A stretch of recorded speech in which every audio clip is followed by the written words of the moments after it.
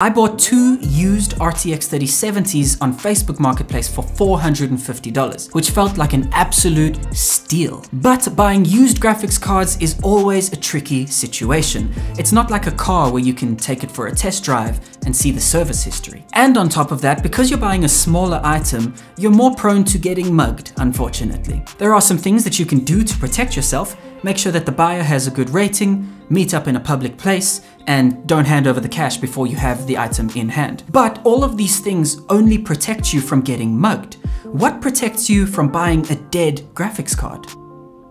Nothing. So unless you want to buy a bricked graphics card with no way of getting in touch with the seller again, you just have to go to their house. I got lucky and the seller didn't mug me, fortunately. But as we go through the segments of the video, I'm gonna put a red flag counter on the screen just to show you how many mistakes I actually made and how many things I overlooked. So he was very welcoming and I walked into his room where he ran his business from and he had a bunch of graphics cards in that room, but a lot of them were disassembled. He also needed to make it quick because he had somewhere to be and he would only accept cash and couldn't tell me how long it had been in this mining rig for. And of course, when he took the card out of the box, it had a little bit of corrosion on it, which I shouldn't have overlooked. In amongst all of these red flags going on obviously I was still excited and I wanted to test these cards anyways. So we threw the first one on his rig, powered the PC up, and the second, and I tell you, the second it posted, he turned off the power supply and he said something along the lines of,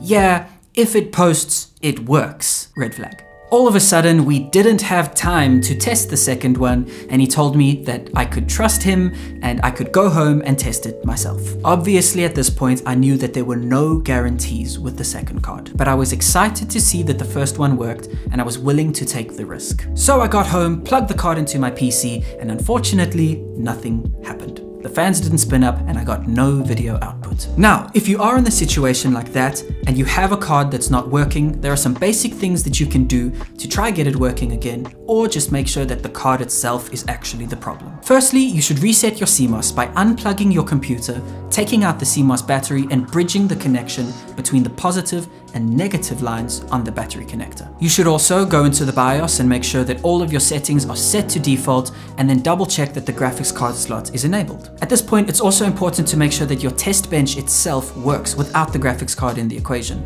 So boot it up, make sure you get into Windows and make sure that everything is working fine. Once you know that that's working, you can now introduce the graphics card and try boot up. Now, if that's still not working, it doesn't necessarily mean that the graphics card itself is broken. It could be that your PCIe slot is broken. So try another graphics card in the same slot and see if that posts.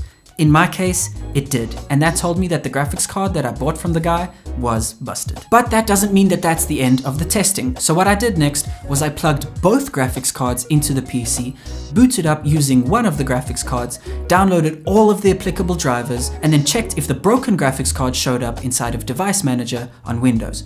Unfortunately, it didn't, and this tells me that the graphics card is not being read and it's probably not getting any power at all. So, like me, you found yourself in the position where you bought a graphics card, you've done all the tests that you can, and it just doesn't work.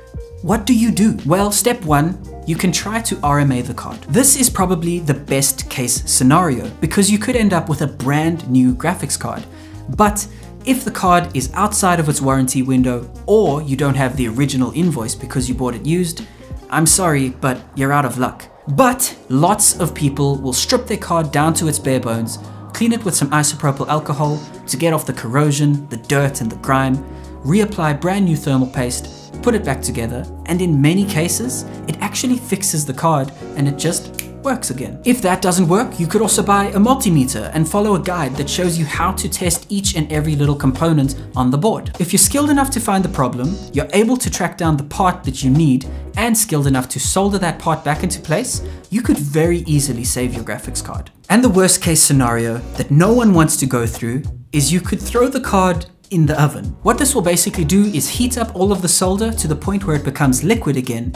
It reseats itself with a better connection and when you take the card out and cool it down, maybe the broken connections that were there are no longer broken. I was way too scared to do that, so I caved in and I sent it to a professional. While this is all very disappointing, many lessons have been learned. Look for the red flags and don't let excitement cloud your judgment. I love gaming and I trust gamers, but that attitude let me down. So be professional, be thorough, and don't take risks. Safe shopping, guys. I hope that helped.